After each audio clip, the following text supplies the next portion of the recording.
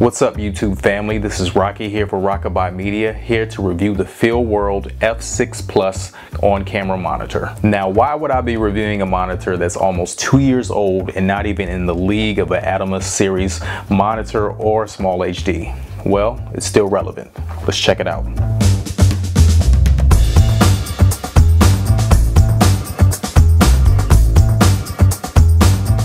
The F6 Plus is a great on-camera monitor. It has everything you need to get the great shot. It has the histogram, it has the vector scope, it has a touch screen which enables you to get to some of the options a whole lot faster instead of just scrolling through all of them. It also has an HDMI out so you can connect another monitor just in case a producer or a director, someone on set needs to see what's happening. And it also has a headphone jack so you can check your levels at all times. One of the most interesting features about this monitor is you can upload your LUTs directly into it via SD card. However, it's not a recorder.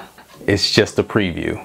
So it'll help you properly expose so you know what you're getting yourself into before you get into post. Now let's go into some of the things that I like. First off, the price. At 199, you get a lot.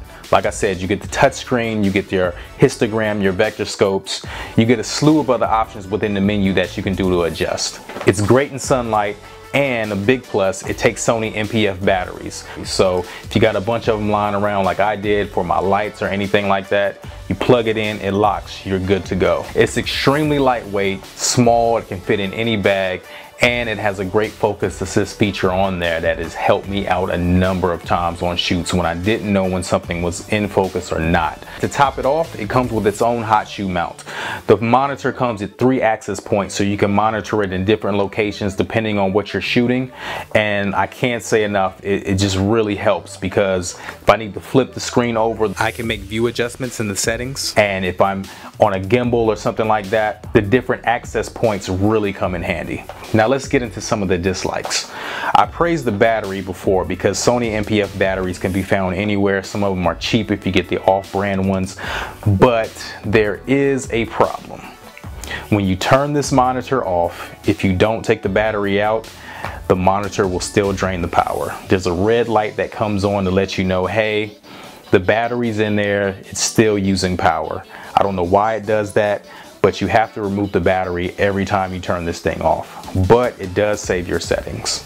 Another dislike is the sunshade. Don't even bother with it. I don't even know where mine is. And besides, it's great in sunlight. I didn't really need it, so that's yeah don't even bother with it. The touchscreen is awesome but it can be a little bit too sensitive. Um, I've bumped into it a couple times on some shoots. Um, didn't really change any settings but it does get annoying when you have to take the menu back down.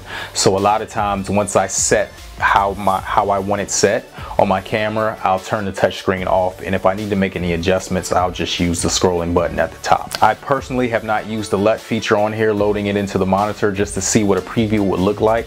Um, I currently don't use LUTs that often so it's not a feature that I utilize um, any color correction that I do in Resolve is real minor so it's not even a point for me to even use it yet there are versions if you go on Feelworld's website where they do have an SDI in and out. Um, this is just strictly HDMI. So if you have a camera that takes an SDI um, you might want to go for one of those. If not, the HDMI is fine. I really haven't had any problems using it um, at all. Um, it's it's it's really a good monitor, and if you get the right NP-F battery, like this thing will last. I haven't even charged my battery in several months, and it's still going strong.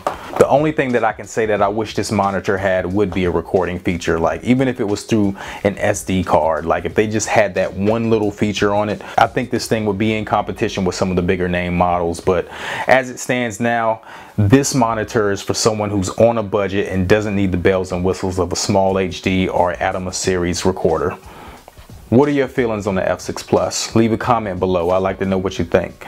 As always, like and subscribe and check me out on Instagram. See you on the next one.